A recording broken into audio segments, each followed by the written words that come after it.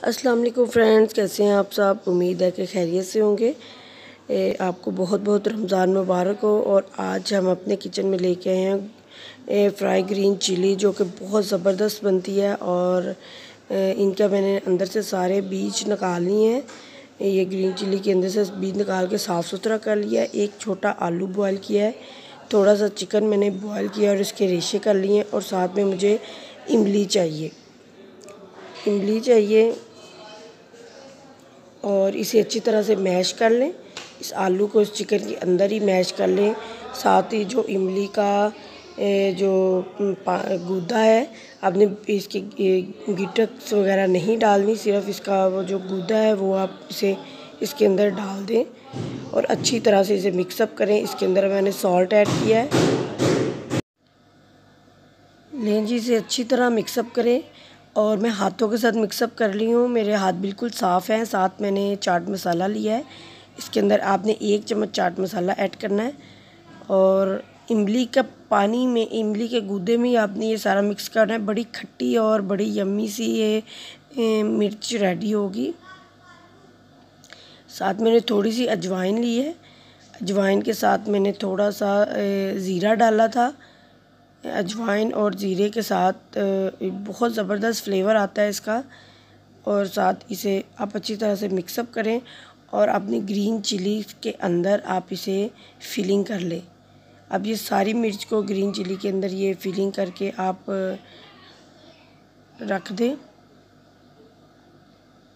देखिए, अंदर से साफ़ सुथरी है। मैंने धो के वॉश करके इसके सारे बीज निकाल लिए हैं।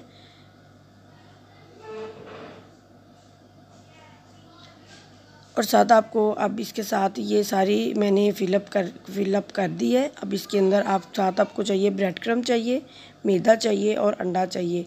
पहले आप मैदे में करें और फिर अंडे में और फिर ब्रेड क्रम में। ये सारी को अच्छी तरह से लगा के और इसके साथ ही हम इसे, आप देख सकते हैं, मैंने सारी की सारी फिलिंग कर चुकी हूँ मैं। बहुत मज़े की ये बनती हैं, आप ज़रूर अपने घर में ट्राई करें और इसे अच्छे तरीके से इसे फ्राई कर लें। तेज़ आग में आपने इसे फ्राई करना है। मैं आज अपनी अम्मी की तरफ़ आई हुई हूँ। आपको किचन का थोड़ा व्यू दूसरा लग रहा होगा। लेजी ग्रीन चिल्ली रेडी है। साथ ही मैं आपको आज अपनी भाभी का कमरा दिखाने लगी हूँ। मेरी भाभी की अभी अभी शादी हुई है और इनका रूम मुझे बहुत पसंद है। फर्नीचर बहुत अच्छा है, जो कि न्यूली जिन्हें जिनकी अभी शादी होने वाली है, उनके लिए आइडियाज़ भी है। कि आप ऐसा फर्नीचर ले सकती हैं, इनका फर्नीचर बहुत अच्छा है। और मैंने कहा चले मैं आपको इनका कमरा भी दिखाती हूँ। जी, इसके साथ ही इन्होंने ये डिस्पेंसर जो है, वो साथ मैच करके लिया था और वाटर डिस्पेंसर पड़ा हुआ है। ये इनका सारा ड्रेसिंग है। ये इनका ड्रेसिंग का एरिया है, बड़ा सा बिग बड़ा ड्रेसिंग है। और साथ में ये इनका बेड है। मुझे इनका बेड बहुत पसंद है, चलिए मैंने कहा आपको भी इसका थोड़ा सा व्यू दिखाती हूँ मैं।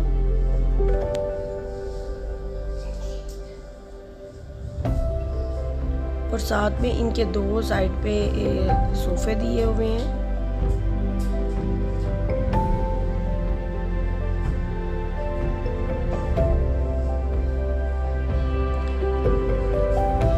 साइड पे दो सोफ़े हैं, ये कि चेयर इसे कहती हैं यानी लॉन्ग चेयर है, इनकी साथ टेबल है।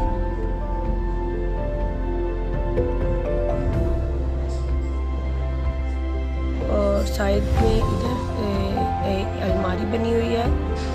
इधर ड्रेसिंग रूम में अलमारी है, साथ में ये छोटा सा स्टोर भी है, अंदर से जो कि रूम के अंदर से निकलता है।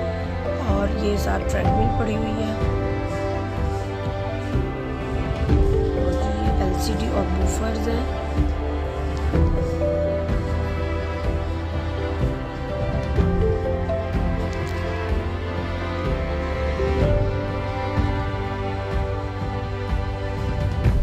और ये कमरा आपका बिल्कुल कंप्लीट है। इसके साथ ये ड्रेसिंग के साथ ये इनकी अलमारी भी साथ छोटी सी बनी हुई है। ड्रेसिंग की अलमारी है। बाबू ने कैचर लगाया हुआ था इधर साथ ही ये जी, इनकी ये जी, ये मेकअप के इन्होंने अलमारी रखी हुई है। ये मुझे कि जो मर्ज़ी आप इस अलमारी में रख लें, अलग से आपको ये रखने की कोई ज़रूरत नहीं है चीज़ें।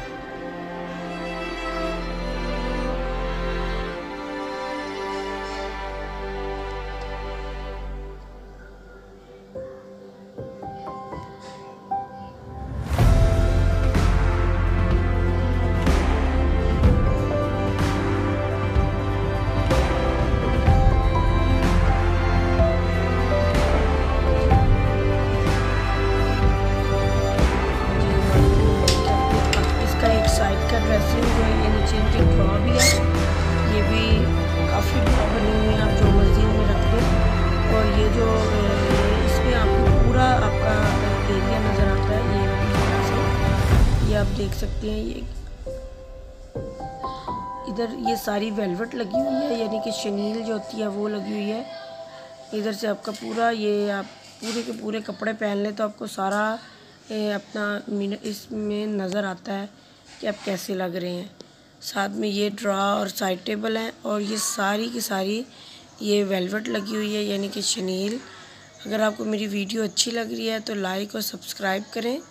और अपना बहुत सारा ख्याल रखिएगा। थैंक्स फॉर वॉचिंग अल्लाह हाफिज़।